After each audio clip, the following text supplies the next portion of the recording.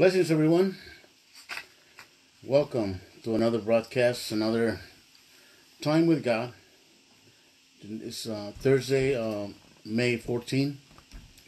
It's time to be uh, to study the Word of God, be be with God, Amen. So we're gonna start with prayer.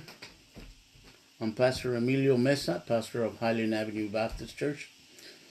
This was been around seven weeks already, but we've been close in our church, but still, God's word is not closed. We're still broadcasting. We're not. We're out there still. We're still moving forward. We're still uh, um, out there. Um,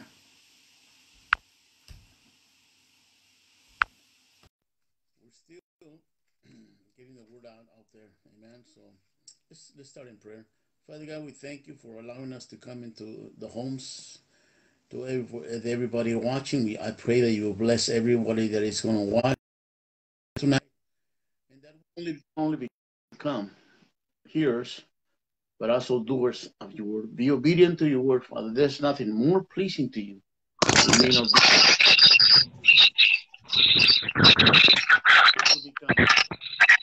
obedient, oh God. So we something went wrong right there, but um, you got it. Amen. Tonight, everybody, everybody watching, and just uh, we go to the Word of God and just out of the Bible. Just let's just go out of the Bible. Just that's all we got to do. So um. Today, I want to talk to you about Christian responsibilities. We have Christian responsibilities. And so we just want to start with the Word of God. Um, what we saw, and remember, what we see or what we find out, and I'm talking about God's Word, we must announce it. You know, God talks in different ways. Sometimes you could be driving and you can uh, see in a billboard some, the answer that you've been looking for, that you need. But sometimes we're not looking for that answer, so we just let it go by.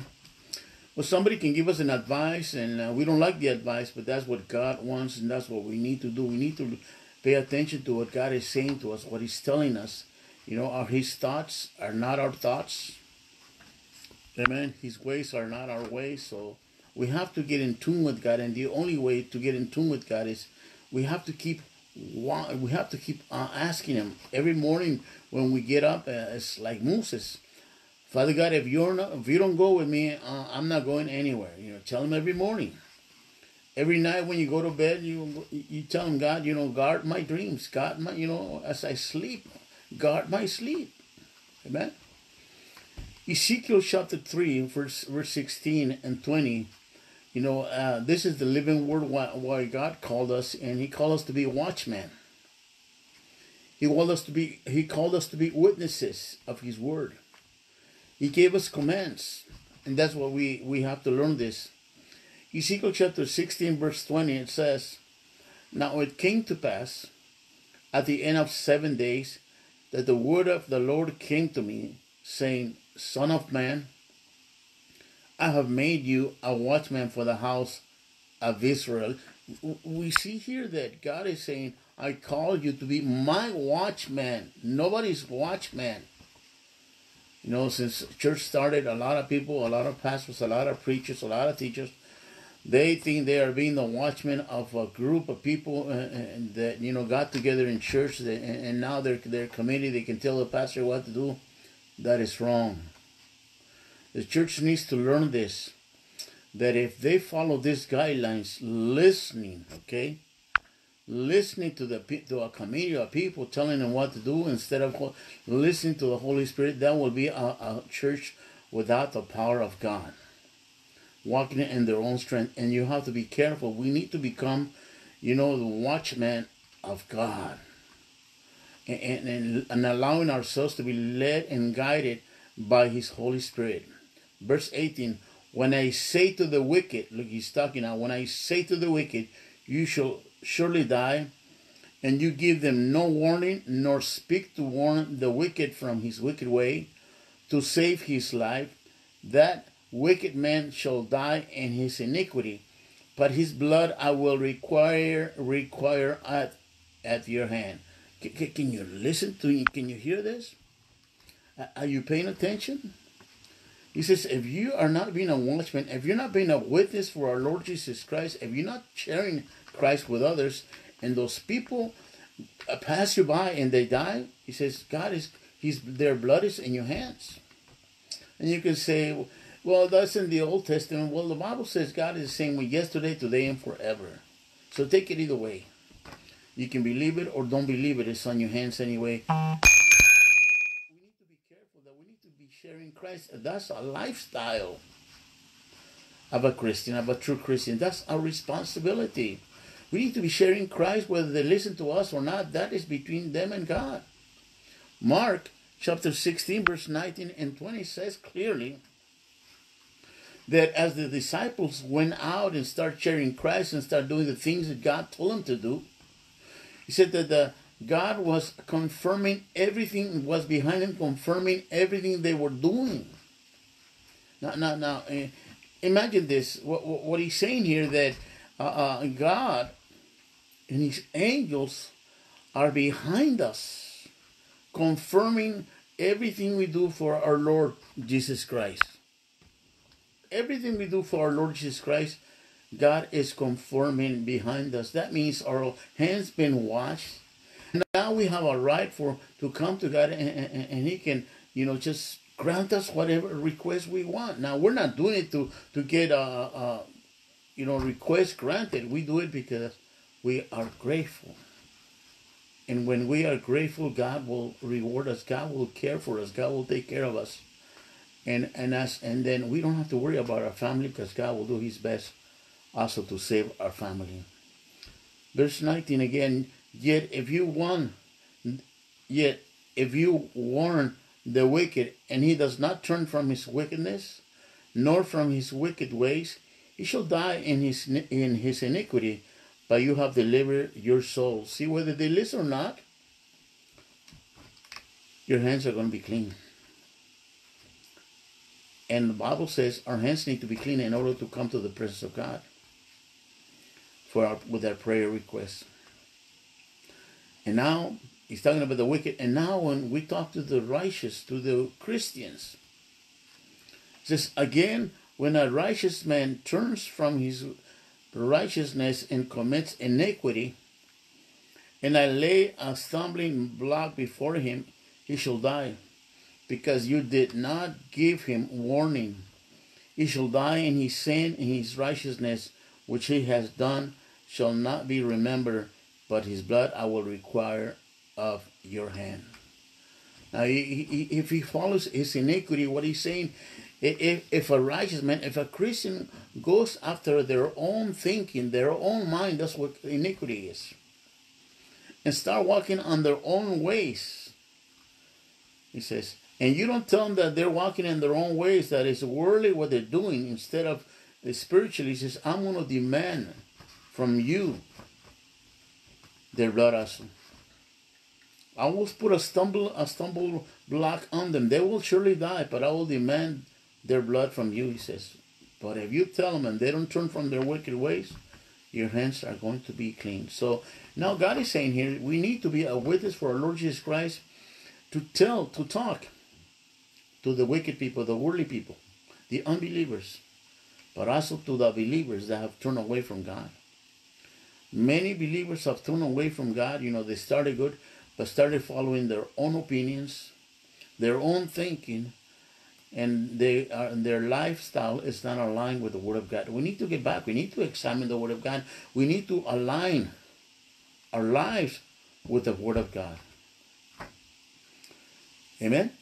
So, whatever we see or whatever we find out in, in, in, our walk that we know that is wrong for, for, for us, we need to tell the people.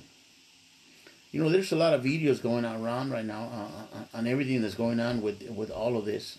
We need to examine those videos also with what's going on with the Word of God, and we need to warn the people, even when we get in trouble. If we're following the Word of God, we have to be obedient to God. We are to obey the authorities. Yes, we are supposed to obey authorities. Every authority that is not going against God's word, you have to obey it. So, and stay at peace with the people. Be praying for the people. You know, God is in control of this world. God is in control of everything. He has not forgotten us. He is in control of your life and my life. We are being tested right now to see how faithful we are. God is, is calling us, come back. I want you to walk with me. The Bible says He will provide, He will care for everyone that fears Him and loves Him and obeys Him. Loves Him and obeys Him, fears Him and obeys Him. You need to be obedient to His word. And you can't do it on your own. You need the Holy Spirit. That's what it, that's what prayer is for. You have to remember that one day we are going to be accountable to God for what we announce or did not announce, meaning what we witness or did not witness about the Word of God, about sharing Christ with others. Second Corinthians 5.10 says, For we must all appear before the judgment seat of Christ, that each one may receive the things done in the body according to what he has done, whether good or bad. One day, everyone in existence, everyone that even have died, everyone is going to stand before the judgment seat of Christ one day. And we're going to be accountable for everything we've done. We must never worry about what's going around, uh, uh around us, but be focused always on God's will over our lives. Let's worry about what God wants from us and let God worry about what we need. You know, I have learned through the years, in these 25 years that I've been pastoring, that as I do God's word, God cares and takes care of my family. I don't have to worry about it. Follow God. How? Align your life. Align your life with the word of God. Amen. That's what you need to do. All Christians have the responsibility to be preparing daily. Matthew chapter 25, verse 1 through 13. This is the story of 10 virgins. Okay? This is the story about the 10 virgins about the 10 virgins. Now the 10 virgins represent the church. Listen to this. The 10 virgins represent the church. The husband represents Jesus. The husband represents Jesus. The lamp, the lamp represents the commandments. The light represents the teaching of the Bible. And the oil represents fruit or, or anointing and it's personal. No one can give you their anointing. It's personal. You cannot Share your anointing with no one, but others can be blessed by your anointing. We need to we need to be careful on, on these things. And so how how do we compare the, the all this? Look at we look at what the, the what it says, verse one through thirteen. Then then the kingdom of heaven shall be likened to ten virgins who took their lamps and went out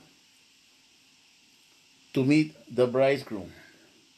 Now, five of them were wise and five were foolish. Those who were foolish took their lamps and took no oil with them. But the wise took oil in their vessel with their lamps. But while the bridegroom was delayed, they, they all slumbered and slept. And at midnight a cry was heard Behold, the bridegroom is coming, go out to meet him. Then all those virgins arose and trimmed their lamps. And the foolish said to the wise, Give us some of your oil, for our lamps are going out. But the wise answered, saying, No, lest there should not be enough for us and you. But go rather to those who sell and buy for yourselves. And while they went to buy, the bridegroom came, and those who were ready went in with him to the wedding, and the door was shut. Afterwards, the other virgins came also, saying, Lord, Lord, open to us. But he answered and said, Surely I say to you, do not know you. Watch therefore, for you know neither the day nor the hour in which the Son of Man is coming. Is coming. Do we get this? Remember, the ten virgins represent the church. How is your church? How is our church? The husband represents Jesus Christ. Are we ready for Jesus Christ? Are we taking care of his bride? The lamp is the commandments, meaning the Bible. The light is the teaching. How are we teaching the people the Bible? The oil is the anointing, is the fruit.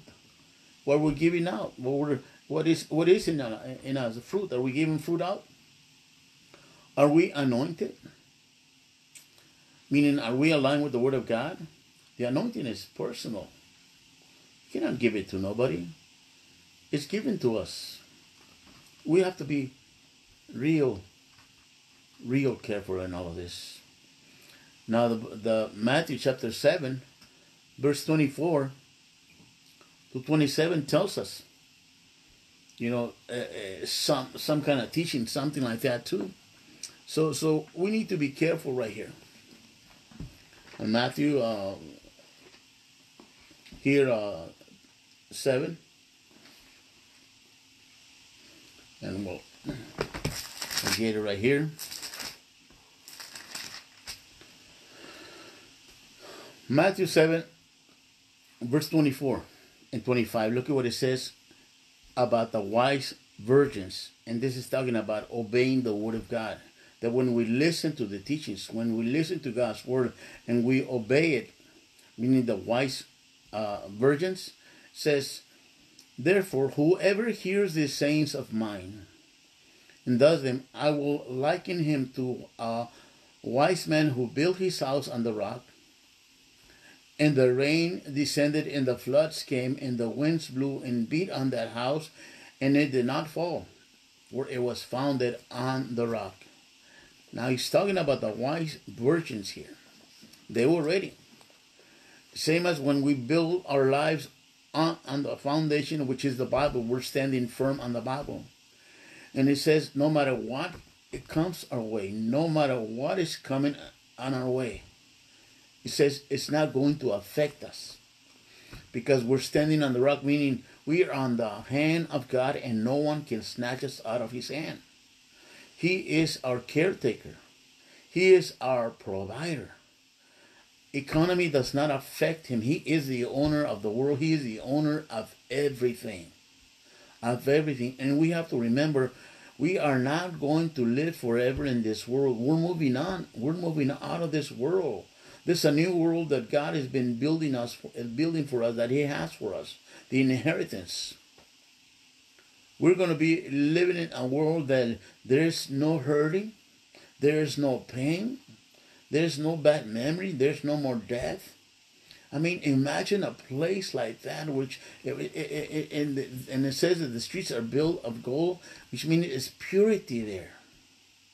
I mean, the water's so clear, everything I mean, that is life. There's no worries. And, and the sun is not going to be there because God is going to be our light, which is not going to be cold. It's not going to be hot. Imagine all of this. There's not going to be no war no more. There's not going to be no more infirmities. Can you imagine this? All the storms came, all these worries, came to this man that built his house on the, on the rock Nothing happened to it, it says. But what happened to the foolish women? The, what happened to the foolish virgins?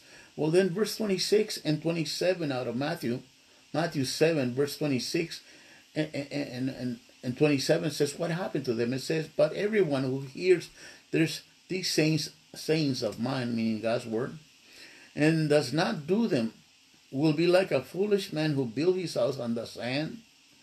And the rain descended, the floods came, and the winds blew and beat on that house, and it fell. And great was its fall. Now, why you keep on worrying? Don't worry anymore. You know what's what's what is the best thing here? That every morning is a new day of mercy, a new day of beginning. So even now, you can tell God, says God, I'm sorry I did not know. If you confess yourself and your failings and you get right with God, His word says clearly that if you are sincere, if you are sincere, everything you have done is erased and there's a new beginning for you. The condition is that you don't do you don't go back anymore, that you don't do that anymore. You will be forgiven forever. You will have a brand new start, not only you, but as a family. You can just follow the lamp, follow the life, follow the word of God, and you're gonna be doing okay. That's that's a prom. That's not my promise. That's God's promise.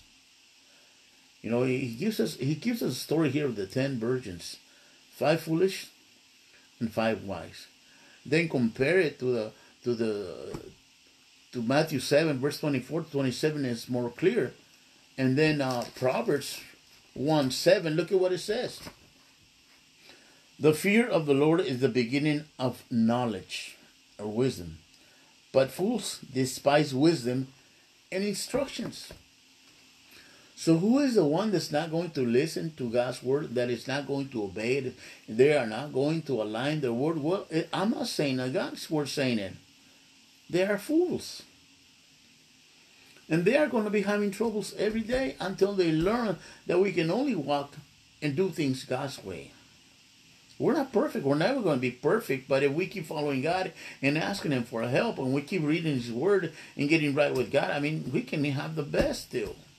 Even when things are falling apart, we can be okay. We can do all right. We can be all right. Why? Because God says this, and I want to believe what God says. I'm not going to believe what somebody, what man comes and tells me. I'm going to believe what God says. The Bible says that we are not afraid. Hmm. Bad news does not affect us. God will show us what to do with good, with good or bad news, if we are following Him, if we are listening to Him.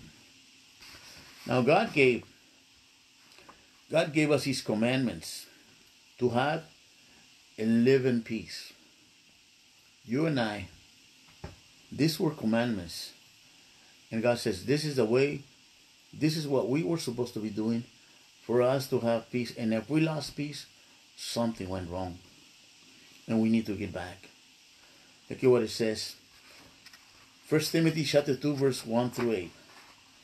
Therefore I exhort, first of all, there's supplic that supplications, prayers, intercessions, and giving of thanks be made for all men. For kings and all who are in authority, that we may lead a quiet and peaceful life in all godliness and reverence. For this is good and acceptable in the sight of God our Savior, who desires all men to be saved and to come to the knowledge of the truth. For there is one God and one mediator between God and man, the man Christ Jesus, who gave himself a ransom for all to be testified to be testified in due time for which I was appointed a preacher and an apostle, I am speaking the truth, and in Christ not lying, a teacher of the Gentiles in faith and truth. I desire therefore that the man pray everywhere, lifting up holy hands without wrath and doubting. Now God said it. And sometimes I have spoken to people and, and I have told them, you know, pray for president. President Trump. Pray for the, I mean, find out who's the chief of police, find out who is your mayor, you know, pray for these people and your city. Start praying for the president. And, and some people will even get nasty and say, I don't like the president.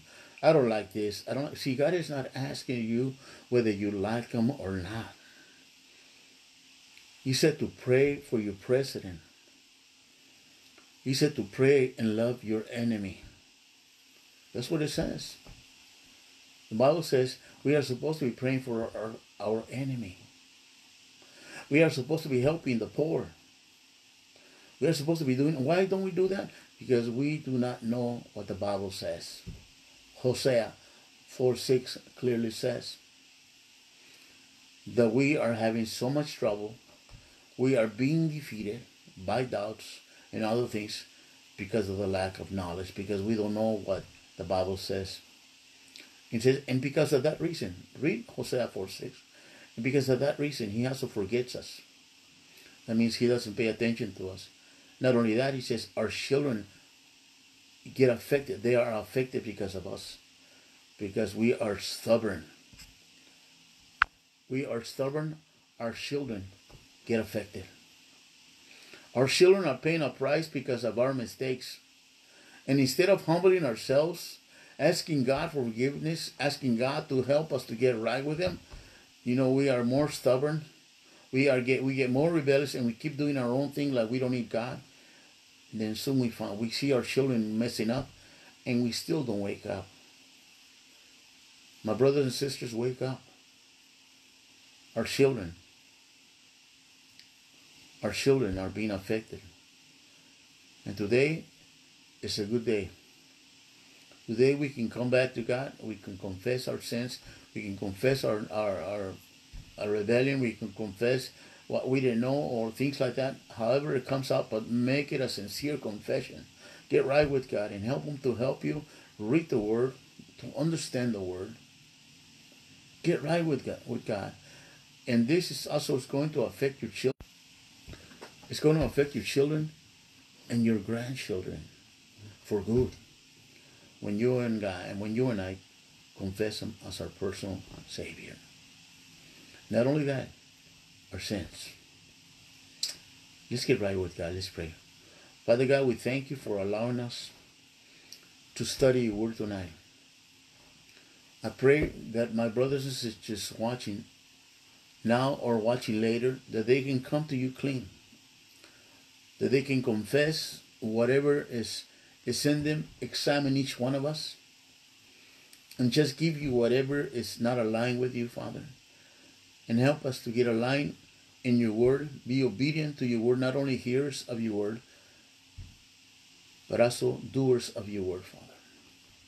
Help us to become true witnesses of your word with the help and the power of your Holy Spirit, Father. I thank you for everyone listening. Bless them. Bless, we bless tonight, Father, President Trump. Lead him, guide him all the days of his life and lead and guide this nation, Father.